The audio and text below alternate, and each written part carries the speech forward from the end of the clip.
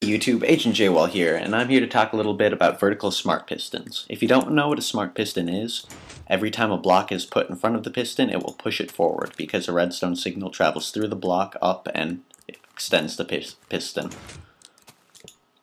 So, it's relatively e easy to do doing on a horizontal plane, however, going up provides a challenge since anytime you try to power through a block placed on top of a piston, it will power the piston itself and instead will not retract once the block is pushed up. So one way I've found you can solve this is if you have a smart piston that actually pushes it into the block, it will work.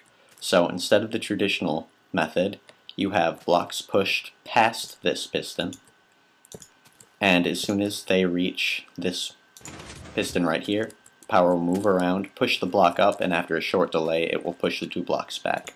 So if you replace them with two helper blocks in its place,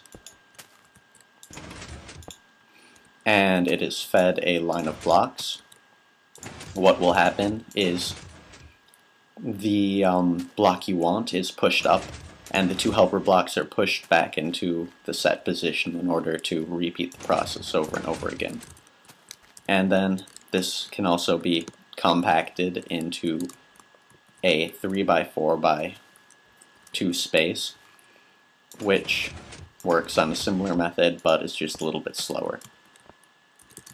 In order to build this, you start out with four blocks of your choice in this configuration.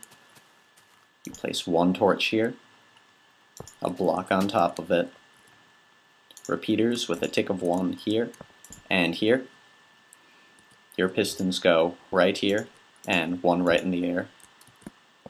A second torch goes right here, and finally redstone goes there and on both of these blocks.